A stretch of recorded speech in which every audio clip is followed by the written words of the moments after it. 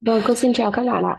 À, hôm nay cô sẽ hướng dẫn các bạn dịch câu hỏi và chuẩn bị câu hỏi cho part 4 của test 3 nhé.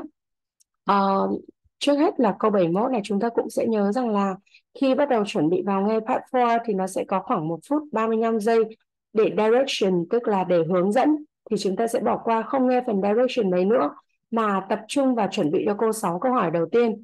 Khi chuẩn bị câu hỏi thì chúng ta sẽ cố gắng dịch câu hỏi tìm signing post và sẽ phán đoán xem là mình sẽ cần nghe ở đoạn nào trong trong cái cái phần uh, uh, trong cái phần audio này.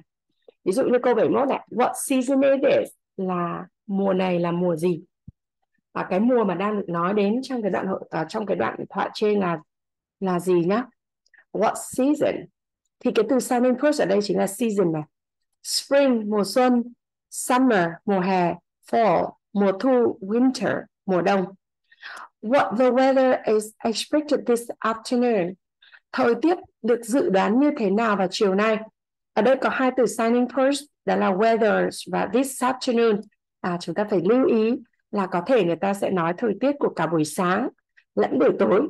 Nhưng chúng ta nhớ là cái từ để trả lời cho câu 72 là this afternoon vì vậy chúng ta tập trung nghe vào this afternoon, giúp cô. Rain là trời sẽ mưa này, stormy winds là rông gió, mưa to, gió lớn. Cool breeze là thời tiết sẽ gió mát mẻ, sẽ mát mẻ. Dry and windless là trời khô và không có gió. Hanh khô, không gió. When will the skies become clear again? Khi nào thì trời sẽ trở nên trong xanh lại? Uh, cái từ keywords ở đây chính là key, sorry skies and next one is uh, clear again early in the afternoon đầu giờ chiều this evening tối nay tomorrow ngày mai later in the week cuối tuần uh, câu số 74 này what day is Dr. Miller office closed vào ngày nào mà văn phòng của Dr. Miller Dr. Miller sẽ đóng cửa Monday, Wednesday, Thursday and Friday. Chú ý cho cô từ Dr. Mahler office và từ closed. À, câu 75 ạ. Why would someone call? Thì ở trong câu chuyện này chúng ta sẽ hiểu là tại sao ai đó lại cần phải gọi điện đến số điện thoại này. Thì khi nghe cái từ signing post của chúng ta chính là cái số điện thoại này. Nhá. Và bạn tập trung nghe số điện thoại này. 800 555 3212 người ta gọi đến số điện thoại này để report an emergency là để báo cáo về một trường hợp khẩn cấp. Pay a bill để thanh toán hóa đơn. Reschedule an exam là để lên lại lịch khám. Tại sao cô lại có thể chọn cái từ exam này là lịch khám mà không phải là lịch thi? Bởi vì exam còn mang nghĩa là thi nữa đúng không? Là kiểm tra. Bởi vì ở trên có là phòng của bác sĩ phòng khám của bác sĩ Dr. Miller. À, ở đây tiếp tục đến là get lab result là lấy kết quả phòng thí nghiệm. How can someone speak with doctor? Đây nữa này, là làm thế nào, bằng phương thức nào để ai đó có thể nói chuyện với bác sĩ? Call back là gọi điện lại khi ông ấy, văn phòng của ông ấy mở cửa lại. Call a different number, gọi sang một số khác. Leave a message, để lại tin nhắn thoại. Visit, để lại tin nhắn. Visit the office on Monday, đến trực tiếp tại phòng khám vào hôm thứ hai. Ok, nào bây giờ đến tiếp tục ở câu 7, 7 này. What will Stonebrook Company do on March 1st? Là cái công ty này sẽ làm gì vào ngày 1 tháng 3? Có những signing post không biến đổi.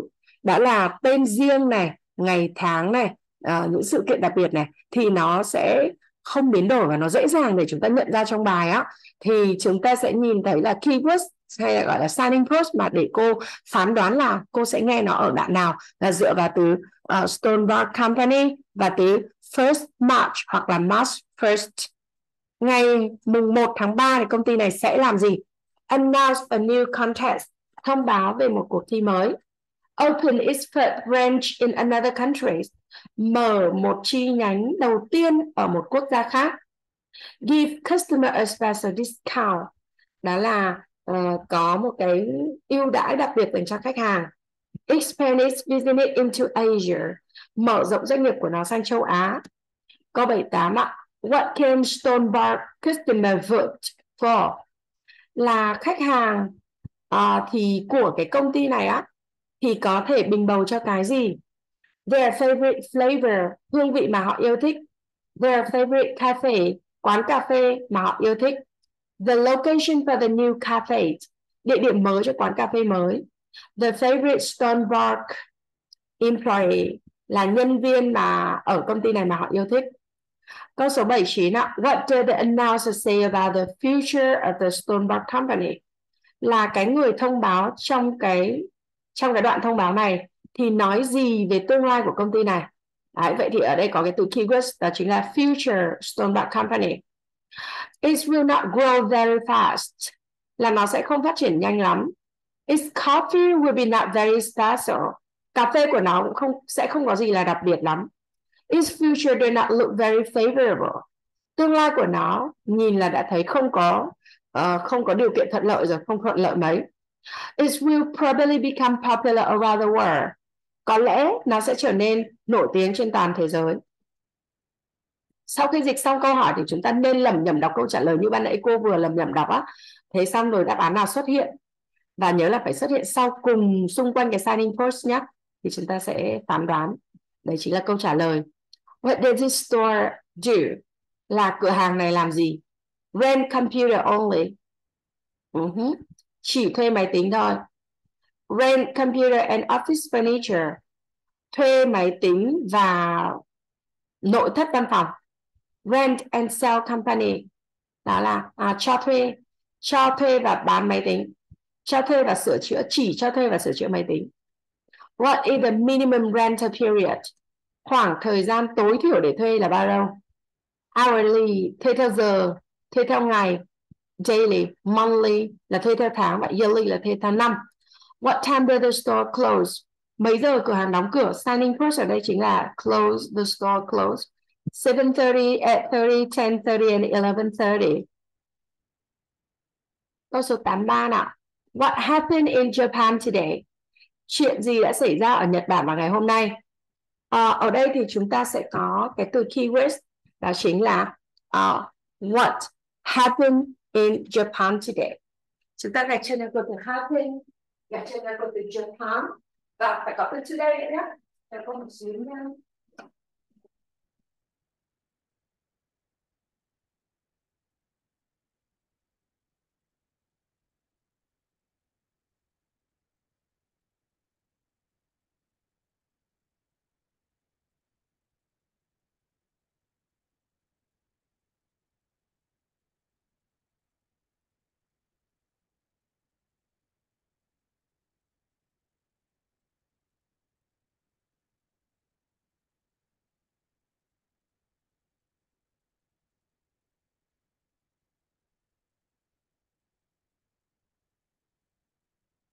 Vâng. Sau khi biết được từ keywords ở đây đó chính là uh, Japan và today. Nhớ là phải có today nhá. Bởi vì nếu mà có nhiều khi nó lừa trong bài nó lừa thì nó sẽ lừa mình là nó sẽ kể một câu chuyện của ngày hôm qua hoặc của tuần trước. Nhưng mình cần nghe đó là today là ngày hôm nay. Và ở Nhật đáp án A đó là there was a riot là có một cuộc bạo động. There was a tidal wave đó là sóng thần there were a volcanic eruption. Đó là uh, có cái việc mà núi lửa nó hoạt động là trở lại. Rồi there was an earthquake là có vụ động đất. Uh, chúng ta lưu ý này riot tidal wave volcanic eruption and earthquake. Earthquake là động đất nhé tiếp này when was the last time this happened in the same area? Nhớ là keyword ở đây chỉ là last time này lần cuối cùng mà chuyện này xảy ra ở cùng một địa điểm là khi nào? One month ago, cách đây một tháng, cách đây hai tháng, cách đây ba tháng và cách đây một năm. How much damage was done to the property? Là thiệt hại, thiệt hại về tài sản là bao nhiêu? À, none là không có thiệt hại gì. A little, a little là ít. Đấy. Và extensive, cái từ extensive ở đây nó chúng ta được hiểu là nó mang nghĩa là um, trên diện rộng um, là rộng. Và a great amount là lớn là thiệt hại rất lớn. Đó còn câu 86 này. Where is this announcement being heard? Là thông báo trên được nghe thấy ở đâu? Thông thường thì với cái kiểu thông báo trên được nghe thấy ở đâu ấy, nó sẽ xuất hiện ở những câu nói đầu tiên thôi ví dụ như là bảo là attention to the passenger. Đó, đó là hành khách chú ý hành khách chú ý. Xong bắt đầu là your the flight to uh, Ho Chi Minh City. Uh, chuyến bay đến Hồ Chí Minh City có số hiệu là N248 là N248 chẳng hạn. Thì sẽ chuyển cầu này cầu kia thì lúc đấy mình đoán là nó sẽ ở airport đúng không nào? Thế nào bây giờ thì chúng ta sẽ note lại cho cô là cứ có là câu hỏi where xong đến announcement rồi đến being heard là sẽ được dịch là đoạn thông báo trên được nghe thấy ở đâu. Và thông thường là chúng ta sẽ nghe ở những câu thoại đầu tiên. Đáp án A, airport ở sân bay. Đáp án B, on the plane ở trên máy bay. Đáp án C, ở lãnh sự quán consulate consulate ở lãnh sự quán. At a bus station là ở trạm xe buýt. What is the gate number? Thì cái từ keyword ở đây chính là gate number, là cổng số mấy? 15 16 chúng ta lưu ý 16 sẽ phát âm là 16 58 60 sẽ phát âm là 60 Now, who can go to the the head of the line? Who can go to the head of the line? Là ai có thể đi lên hàng đầu tiên? People with passports. Người có passport trên tay. People with ticket. Người có vé. Người có hành lý nhỏ và người có con nhỏ. match one. Uh, how many levels are reserved for employee parking? Có bao nhiêu hạng mục? Để đăng ký để đặt chỗ cho cái employee parking đó là chỗ đỗ xe cho nhân viên. One two three four. Which vehicle may park in the red space? Spaces. Là những loại xe nào có thể đỗ ở cái khoảng mà người ta sơn đỏ uh, maintenance vehicle. Đó là xe đang bảo trì. Xe bảo trì sorry maintenance vehicle là những xe bảo trì. Employees car đó là xe của nhân viên. Visitor car là xe của khách đến tham quan hoặc khách đến công ty. Và two truck là xe tải. À, câu số 91 ạ. What spaces are reserved for management? Đó là cái chỗ đỗ xe nào là được đặt chỗ được đăng ký cho dành cho ban lãnh đạo. Nó có màu yellow, blue, white hoặc là any space là bất cứ chỗ nào.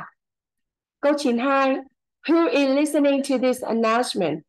Ai sẽ là người lắng nghe cái thông báo trên? Đáp án A, politician. Politician là chính trị gia.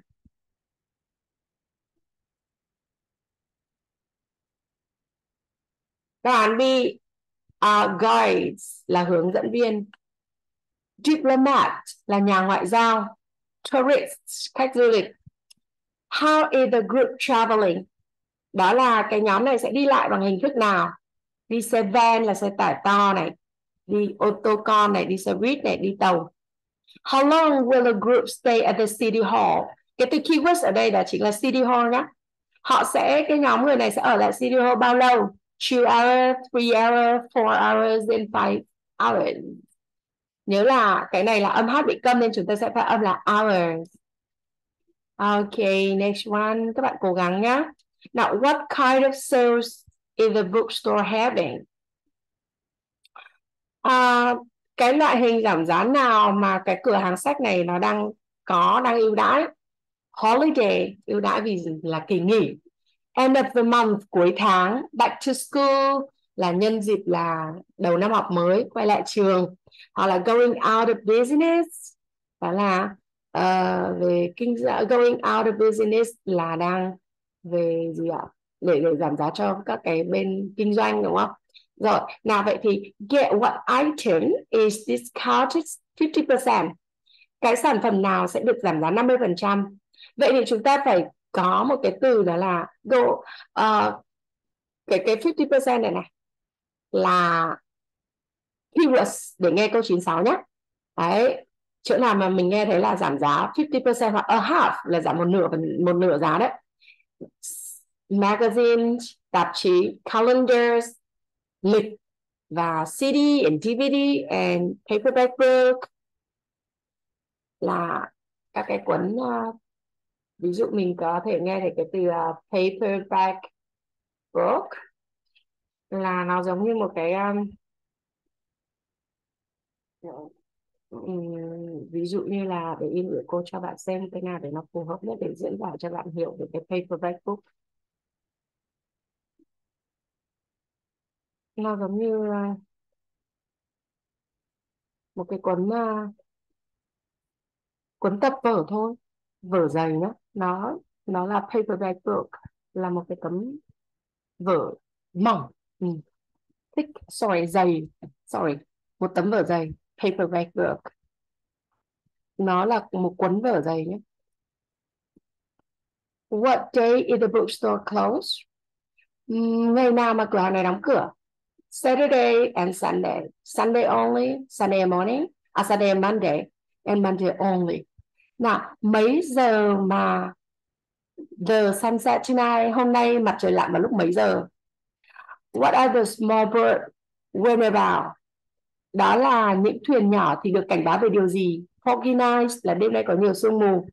Tối nay có gió mạnh.